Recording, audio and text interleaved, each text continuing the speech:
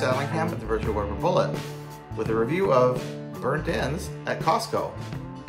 So if you're one of my longtime YouTube viewers, you may remember that back in 2018, I did a review of this product, which was called American Barbecue Company Brisket Burnt Ends. Don't ask me why I still have this package around in my office. I keep things like this for just this purpose, I guess. But I did a review of this back in 2018. I thought it was, uh, I think I went like this.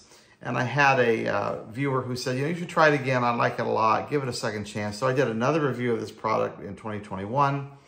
And I thought it was a little, a little bit better than this. Um, I'll put links to those reviews down in the description if you want to see them, although I don't know what the relevance is since you cannot buy this product anymore at Costco. But now they have this product. It's, it's on fire. It's called uh, Mission Hills Bistro Smoked Beef Brisket Burnt Ends. Um, my Costco here in San Jose is making a big deal about these this summer. There's a big display of them in the store in a very prominent location.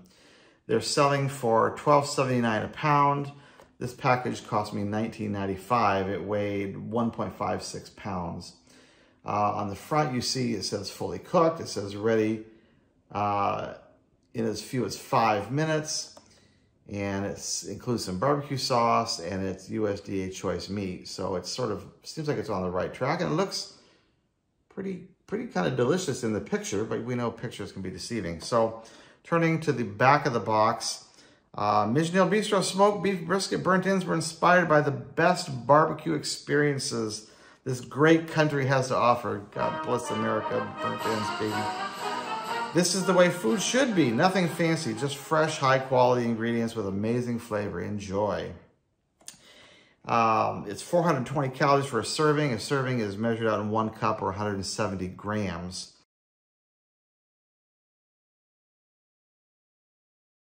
The heating instructions, two ways are offered. One is a microwave option, which basically you uh, take the plastic package of meat out of this plastic container, you poke a hole in the top, make a slit so it can vent.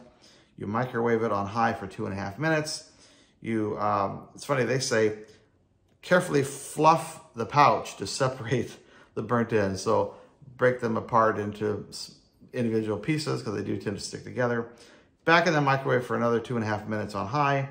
Remove and carefully open up the package and enjoy with their barbecue sauce. They don't mention anything about heating the barbecue sauce. I think you'd want to because it'll be stone cold having come from the refrigerator. What I think is supposed to be the, the better method of heating is what they call the stovetop saute method, which I think is really unusual. It starts out the same as the microwave. They want you to uh, slit the top of the plastic package. They want you to microwave it on high for two and a half minutes so you get a head start in the microwave. They want you to carefully fluff the contents of the pouch to separate the pieces then they want you to go to the stove top and they want you to heat up a skillet with one tablespoon of cooking oil over medium heat. And when that's nice and hot, they want you to pour the burnt ends out of the package into the skillet. They want you to heat it in there for 45 seconds, then flip the meat over to the other side and heat it for an additional 30 seconds. Now I'll show you this process in a second. Um, but it's a total of, what is that? That's one minute, 15 seconds on the stove top, which to me strikes me as a lot of effort for a minute and 15 seconds, but you can be the judge. And then finally, you remove it from the pan and you enjoy it with the barbecue sauce that they didn't tell you to heat up, but I would heat up anyway. So let's look at what's inside the package. So here's a shot of the package opened up. The sleeve slides off and you have this plastic tray containing a vacuum packed pouch of brisket chunks. And the first impression I get from it is that the chunks are huge. Um, this is the thing that kind of bugged me about the previous version as well. They provide really large chunks of meat. They're not the size that you would think of as a brisket burnt end, and I'll say more about that later. I have a theory as to why they probably do this. Um, the other first impression I have of it is where's the sauce? But if you remove the meat, you'll see that the sauce is in another packet down below. So thank goodness the sauce is included. So let's go ahead and make these bad boys and I'll show you what I did. First thing is I started with a couple of soft potato rolls and I laid them out on a sheet pan to put them in the oven, uh, to get them toasty. I put a little bit of melted butter on them to help with that process. This picture shows the barbecue sauce dispensed into a bowl and I heated that in the microwave for just a couple of minutes at 30% so it didn't explode in the oven. It's ready to go with the sandwiches. So here I'm preparing the uh, skillet with a little bit of peanut oil, one tablespoon as prescribed on the box. Have that ready to go. Now in this picture, you can see the result of microwaving the package for two and a half minutes. I put the slit in the top, left it in the tray, put it in the microwave, two and a half minutes. It kind of puffs up a little bit. Here you see I'm trying to fluff the chunks of meat, just making sure they're separated. The package is very, very hot, so you need to do this with tongs or maybe with a couple of, um, of oven mitts or something like that. And now is the moment of truth. It's time to transfer these brisket chunks into the hot skillet. So I very carefully open up the package and I pour the contents into the ripping hot pan. And you can see it sizzles and pops and makes a lot of noise. And uh, it, it uh, is quite a spectacle to see this in the pan. Here I'm flipping it over after the 45 seconds on the first side. It's making sort of a mess around the kitchen.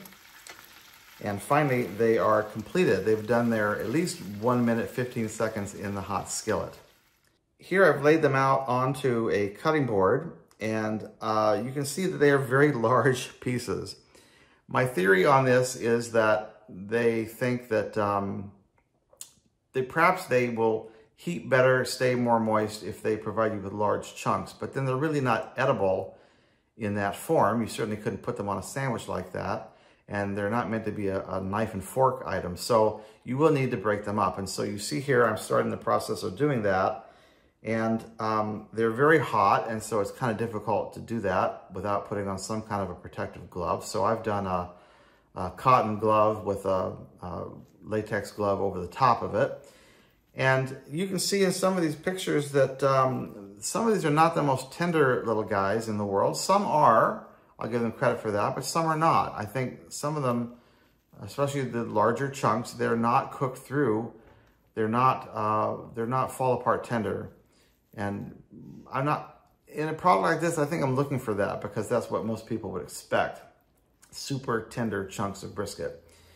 And by the way, I'm just 100% sure these are brisket flat. They're not brisket points. So they're not super fatty and luscious and unctuous like a piece of brisket point would be. They're chunks of flat, which is very common to use in burnt ends these days in commercial products.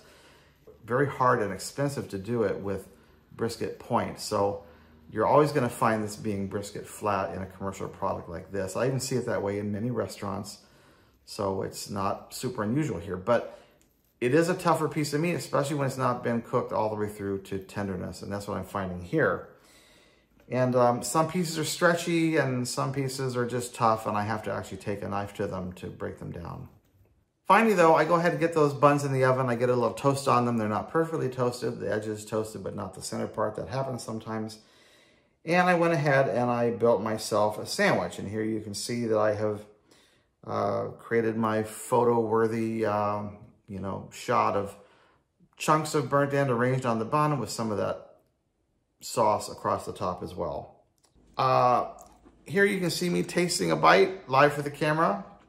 You can tell by my reaction, I am, I'm not spitting it out.